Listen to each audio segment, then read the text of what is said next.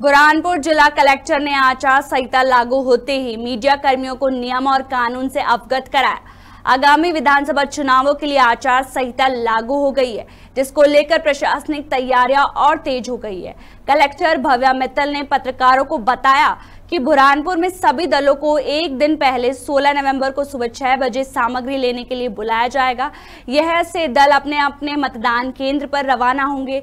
इस बार चुनावी प्रक्रिया नए डाइट परिसर में संपन्न होगी। विधानसभा का कंट्रोल रूम भी यही बनाया गया है। ईवीएम नामांकन प्रक्रिया एसडीएम कार्यालय नेपानगर और बुरहानपुर में होगी।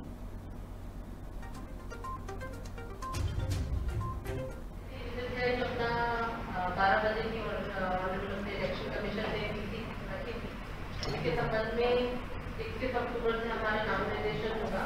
क्योंकि किसी भी अवकाश के दिन में नाम निर्देशन नहीं होता है तो अवकाश दिनों को छोड़ के हमारे इकतीस अक्टूबर, तीन अक्टूबर तक आखिरी दिनांक रहेगा। और समीक्षा अपन इकतीस अक्टूबर को करेंगे, वापसी दो नवंबर को होगी। उसके बाद अंतिम सूची जो है हमारी एडेंट की, दोनों विधानसभा की जारी होती है। नॉमिनेशन की जो प्रक्रिया है वो एस डी एम नेपानगर के ऑफ़िस में नेपानगर विधानसभा के लिए और बलरामपुर एस डी एम के ऑफ़िस में बलरामपुर विधानसभा के लिए इकतीस अक्टूबर से की जाएगी। नॉमिनेशन के संबंध में जो निर्देश होते हैं जो नियम होते हैं कि सौ मीटर की पड़ती में जब भी कोई नॉमिनेशन फ़ाइल करने जाता है तो तीन वाहन अलाउड नहीं होते हैं। और जो मिनिमम संख्या होती है कि एक प्लस चार लोग के अंदर आ सकते हैं, वो उसका पालन किया जाएगा।